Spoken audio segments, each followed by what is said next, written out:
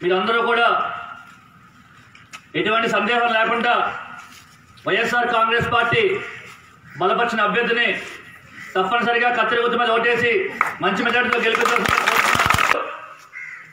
పొరపాటున వేరే అభ్యర్థి ఎవరు గెలిచినా సరే డిఎల్పురం గ్రామం అభివృద్ధికి దూరం అయిపోవడం ఖాయం.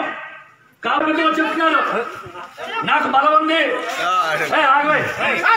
చెప్తూ చెప్తున్నారు నాకు బలం ఉంది నేను గెలిచిపోతాను. ఇక్కడ అందరూ కొట్టుకుంటున్నారు కాబట్టి నేను మధ్యలో మధ్య- దొంగదారిని వచ్చి నేను గెలిచిపోతానని చెప్పి అనుకుంటున్నారు.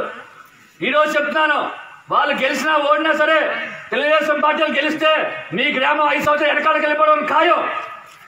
కాబట్టి అటువంటి అభ్యర్థి గెలిచినా సరే మీరందరూ కూడా ఎటువంటి సందేహం లేకుండా వైఎస్ఆర్ కాంగ్రెస్ పార్టీ బలపరిచిన అభ్యర్థిని తప్పనిసరిగా కత్తిరి మీద ఓటేసి మంచి మెజార్టీతో గెలిపించాల్సిన పొరపాటున వేరే అభ్యర్థి ఎవరు గెలిచినా సరే డిఎల్పురం గ్రామం అభివృద్ధికి దూరం అయిపోవడం ఖాయం. కాబట్టి చెప్తున్నారు. నాకు బలం ఉంది. చెప్తున్నారు. నాకు బలం ఉంది నేను గెలిచిపోతాను. ఇక్కడ అందరూ కొట్టుకుంటున్నారు కాబట్టి నేను మధ్యలో మధ్య- దొంగదారిని వచ్చి నేను గెలిచిపోతానని చెప్పి అనుకుంటున్నారు.